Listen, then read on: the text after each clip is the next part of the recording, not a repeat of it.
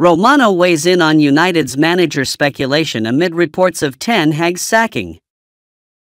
Fabrizio Romano has shared his understanding of the latest speculation regarding a managerial change at Manchester United. The Red Devils were dealt a final hammer blow on Tuesday night after their humiliating Champions League campaign came to an end at the group stage. Bayern Munich put them out of their misery with a 1 0 victory at Old Trafford cementing United's place at rock bottom of Group A and ruling them out of Europa League football in the process. Given United's tumultuous start to the Premier League term, they certainly aren't shaping up as one of the favourites in the top four race. Already, they've sustained seven losses, more than any team in the top nine of the table, and currently hold a negative goal difference of minus three.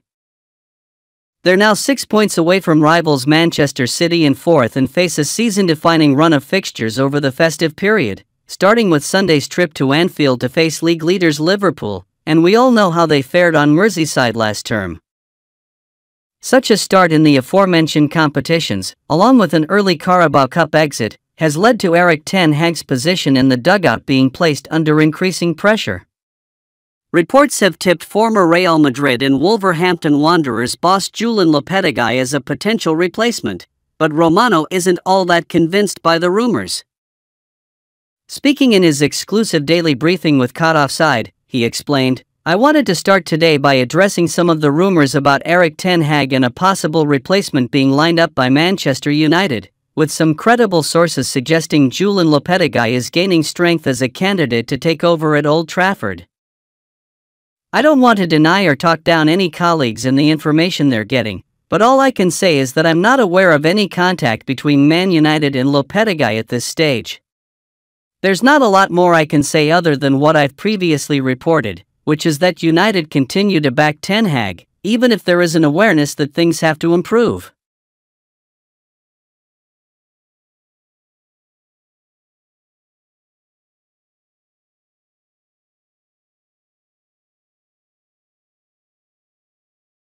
Sir Jim Ratcliffe has serious concerns over Erik Ten Hag's position at Manchester United. Erik Ten Hag's position is under major threat with Sir Jim Ratcliffe said to have serious concerns about the Dutchman's performance in his second season at Old Trafford. After a third-placed finish in the Premier League last season, as well as victory in the Carabao Cup and reaching the FA Cup final, Ten Hag was expected to kick on this term.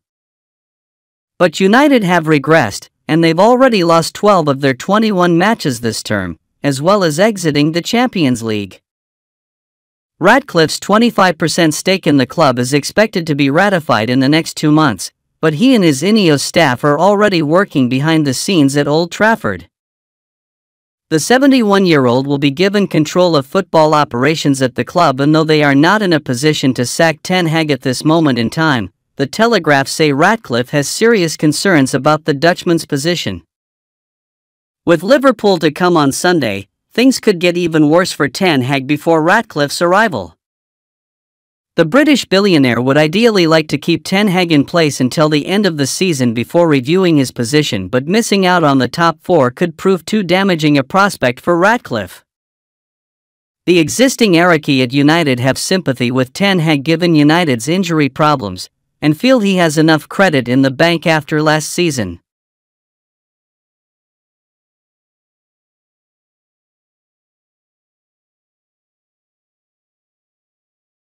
Manchester United keen to offload aging duo to Saudi Arabia but face potential obstacle.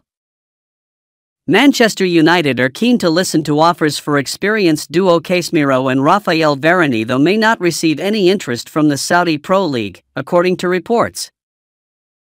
The Red Devils are expected to have a quiet January window, but they are prepared to make some tweaks to their squad if they can offload players.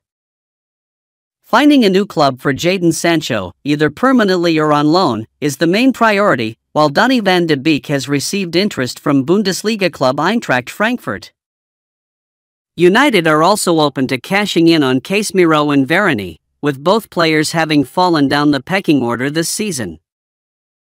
The French centre back has seen Jonny Evans and Luke Shaw preferred to him in recent weeks, while the Brazilian midfielder has not played since October after picking up an injury. According to The Times, Both players are still viewed as important members of the squad, but United do not see them as irreplaceable and would be willing to sell the pair. Both players have been linked with moves to Saudi Arabia in the past, but there are now doubts over whether the country's four biggest clubs, which are all funded by the Saudi Public Investment Fund, are willing to make offers. The problem is that all four teams have already maxed out their eight player limit on foreign players, with Al Ittihad actually exceeding it, meaning ex Celtic star Jota has not been registered for domestic matches. The other three clubs, Al Nassr, Al Hilal, and Al Ahli, invested big in superstars like Cristiano Ronaldo, Neymar, and Karim Benzema and would need to offload a marquee name in order to make room in their squad. At this stage, it appears unlikely that any of the Saudi clubs would be prepared to do that at the midpoint of the season, particularly as it will be incredibly difficult to find buyers for their unwanted players.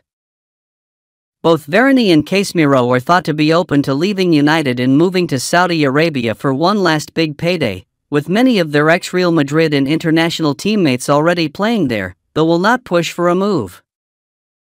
Casemiro is currently dealing with a hamstring problem and is not expected to return until the start of the new year, while Varane has had a number of niggles, including a sore back, that has restricted his game time. Although United are dealing with an injury crisis, their elimination from Europe could see manager Erik Ten Hag take a risk and trim his squad even if it means waiting until the summer to bring in replacements.